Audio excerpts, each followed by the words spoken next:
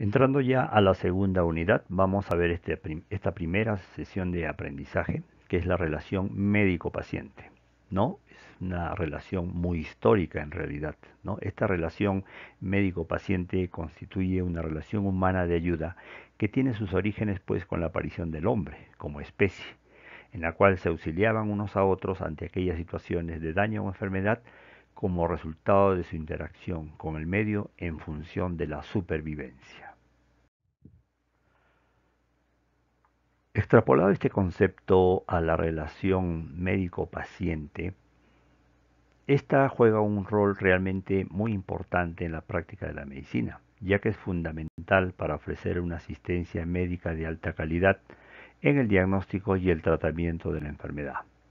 La relación entre el médico y su paciente es una de las bases de la ética médica contemporánea. Como ya hemos señalado en esta sesión de aprendizaje, vamos a ver la relación médico-paciente y todos los tipos de relación que existe en, este binomio. Asimismo, veremos los conflictos en la relación médico-paciente. Veremos pues de qué manera en esta relación médico-paciente el saludo tiene un carácter muy importante. El saludo es el gesto que inicia y cierra el encuentro entre las personas. Es la primera forma de comunicación verbal y no verbal y constituye una valiosa herramienta para favorecer el vínculo entre el paciente y el médico. La experiencia personal, el sentido común y la empatía del médico son importantes para establecer un vínculo adecuado con los pacientes. Una buena comunicación mejora la satisfacción del médico y disminuye inclusive el estrés de la consulta. Y esto en cierta medida previene el desgaste laboral. Una buena manera de llevar con éxito este encuentro es que los alumnos o los médicos en general inicien la consulta presentándose a sí mismos, dirigiéndose a los pacientes por sus nombres y los saluden extendiéndoles la mano.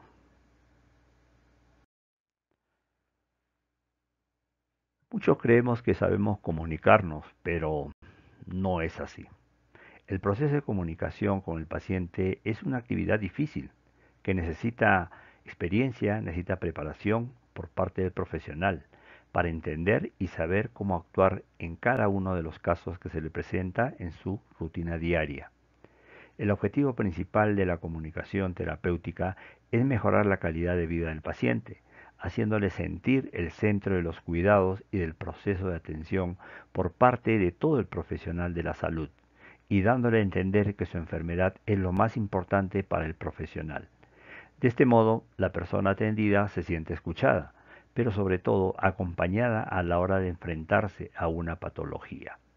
En este proceso comunicativo juega también un papel importante la familia, ¿no? Del afectado, a quien hay que saber también cómo y de qué manera informarlo de la situación.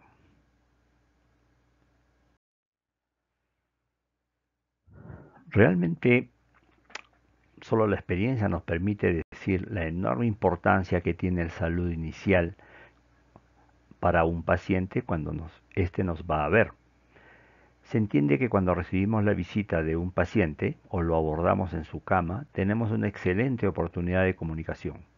Por ello, para realizar una escucha activa se debe dejar de lado cualquier otra tarea que se esté realizando. La idea es descubrir qué es lo que desea o necesita el paciente que va a ser motivo de nuestra atención. El profesional debe involucrarse activamente en la conversación. Cuanto más sepa y comprenda las motivaciones e intereses del paciente, mejor será su respuesta. Y por favor, una valiosa recomendación, no olvidemos el contacto visual que debemos tener con el enfermo en todo momento. A continuación, una pregunta de mucha oportunidad. ¿Hay deshumanización de la medicina en la actualidad?